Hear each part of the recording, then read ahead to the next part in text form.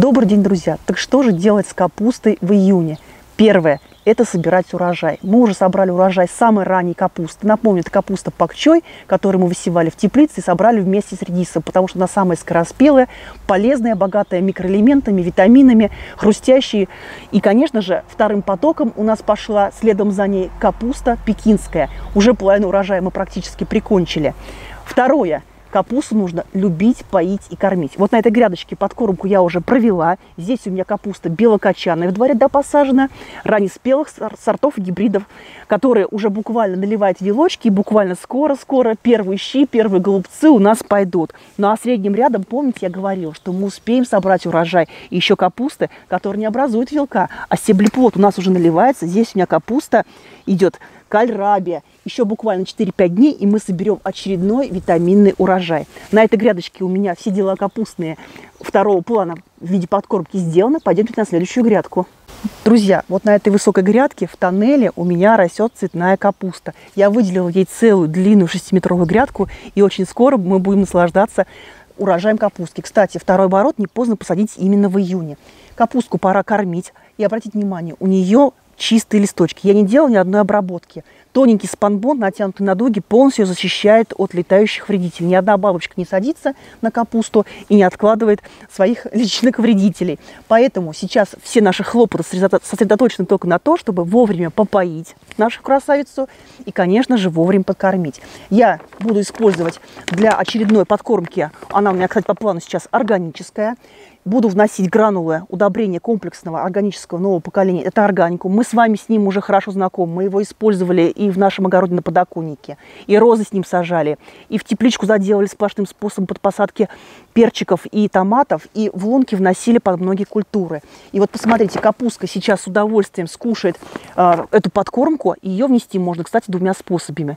Ленивым, это заделав вокруг кустов и при окучке затем полить, и в качестве удобряющего полива. Удобрение органикум, оно гранулированное и раскрывается в почве постепенно, пролонгированно. Поэтому нам достаточно будет только капустку нашу поливать. И вовремя вносить еще какие-то неорганические компоненты, которые будут необходимы именно в процессе роста и созревания капусты. Вот посмотрите, напоминаю для наших постоянных зрителей, новичков, что вот гранула органикум выглядит именно так. Они у нас э, полностью натурального происхождения, и на одну вот такую капустинку, как я называю ее, при луночном внесении, при посадке достаточно 15-20 граммов. Это одна пятая часть вот такого стаканчика. И для подкормки мы тоже берем такое же количество. Вот я сейчас отбираю необходимое количество. Вот посмотрите, вот столько примерно. Можно даже щепоткой набирать, если у вас рука наметана. И аккуратно распределяем вот эти гранулы вокруг нашей капустки. При поливе у нас регулярно вот это вот приокучивание вокруг кустов капусты, саженцев, регулярно размывается. И поэтому будет идеально, если вы будете почву немного аэрировать, особенно когда она у вас плотная. Вот я гранул распределил по поверхности, а сейчас руками, можно тяпочкой. Но у меня почва рыхлая, посмотрите. Я вот эти гранулы прикрываю аккуратно почвой. Кстати, не засыпать точку роста капусты, это нам ни к чему. И останется только потом таким же образом отмерить небольшое количество на каждый кустик, внести, приокучить и полить. Все, подкормка наша полностью завершена. Удобрение полностью содержит весь необходимый набор компонентов, элементов питания – это азот, фосфор, калий. И кроме этого в состав входит 16 незаменимых компонентов, которые работают как строительный материал и участвуют активно в жизнедеятельности каждой клеточки любой растительной нашей культуры. Будь то это овощная, либо цветочная, зеленая, удобрение подходит для любой типа культуры и работает на здоровье и отличное плодоношение каждого овоща на нашей грядке. Кстати, аминокислоты, которые входят в состав этого удобрения, а их 77 граммов на каждый килограмм удобрения, они работают как кирпичики и в качестве строительного материала строят клетки и улучшают обмен внутри тканей растений. Благодаря этому капустка прекрасно развивается. Посмотрите, как мне нравятся такие подкормки. И, конечно же, потом это скажется на вкусовых свойствах конечного продукта, плодов, ради чего мы, собственно, эту капусту и выращиваем. А теперь, перемещаясь на следующую грядку, я покажу вам, что я с ней сделаю. Друзья, а это у меня грядка с капустой, моей любимицей, капуста брокколи. Кстати, она тоже уже отчаянно нуждается в подкормке. И вы многие уже сейчас присмотрелись заметили, скажете, Анна, да у вас сорняки в грядке. Конечно, в этом году я отказалась от мульчирования и сразу получила сорняки в грядке. Конечно же, это еще одно дело, которое нужно сделать в нашем капустнике именно в июне. Прополоть, прорыхлить и дать удобряющий полив. Мы показали, как заделать органику в почву гранулами, а еще можно поступить проще. Сделать настой органикума, берем полстаканчика гранул, измельчаем, бросаем их в воду, заливаем просто 10 литрами воды, оставляем на сутки. Сейчас я просто вот этот свой настой удобряющий перемешиваю. Получается у меня уже готовая полностью подкормка. Беру кошечек и под корень вношу 1-2 литра в зависимости от влажности почвы. Почва, вы посмотрите, у меня влаж... такая супесчаная, легко впитывает почву, поэтому капуста на водах лёб. Я как говорил, что в июне, особенно когда тепло, жарко, нельзя пренебрегать поливом, иначе капуста у нас будет тормозиться в росте, такой шикарной зелени даст. И, конечно же, не забывать про подкормки. Это второе дело именно в нашем капустике 2021, именно в июне. Ну а что же третье? Сейчас я вам все расскажу и покажу.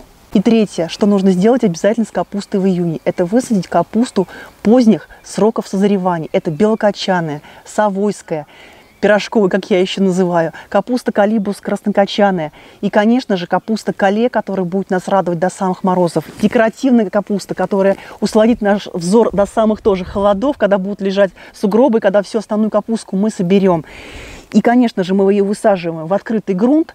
Можете ее укры... под укрытие или ставить, как я, в грядочке э, без дуг, поскольку она узенькая, и уже потом следить за насекомым, чтобы они не поразили нашу капустку органику буду вносить я в лунку непосредственно при посадке. Видите, я декоративную капусту рядом с основной грядкой капусточки тоже сформировала. Формирую лунки. Заранее рассаду я всю полила. Остальную капустку, которую я только что вам перечислила, буду высаживать уже в грядке, конечно же, под тоннели, чтобы защитить от палящего солнца, которое сейчас будет проглядывать, от вредителей. Не забывайте, если у вас есть медведка, обязательно вносите приманку, которая защитит нежный стебелек. Сейчас вода у меня впитается. Кстати, при улучшенном несении органику мы вносим в том же количестве, 15 в среднем граммов, это 1 пятая часть стаканчика. В лунку перемешиваем ее с землей. И вот в такую жижицу, все говорят, сей в грязь, будешь князь. С комом земли, хорошо пролитую, нашу рассаду помещаем в луночку. Расправляем листочки, подсыпаем и слегка уплотняем в прикорневой зоне. Точку роста не заглубляем. В дальнейшем, когда наша капустка адаптируется после посадки. Сверху можно еще тоже немножечко полить. И после того, как все листочки расправятся после пересадки, когда она придет в себя, можно будет ее обязательно прорыхлить, если почва будет достаточно уплотнена и приокучить. Тогда капустка сядет прочно на грядке, и вся прикорневая зона у нее будет э, аэрирована и хорошо увлажнена, будет лучше держать влагу при поливе. Вот посмотрите, все капустные дела мы с вами июньские обсудили. Конечно же, мы в мы и в июле встретимся с вами на капустных грядках, посмотрим, что же у нас в результате подкормки и нашего ухода получится. Вместе соберем урожай. Ну а лето впереди, и у нас впереди много интересного. Щедрого вам урожая и успешного труда на урожайных грядках.